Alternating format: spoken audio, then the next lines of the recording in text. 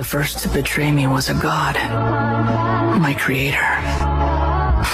My mother. The second was a human. My friend. The third was one exactly like me. A hope for the future. A fledgling barely out of the nest.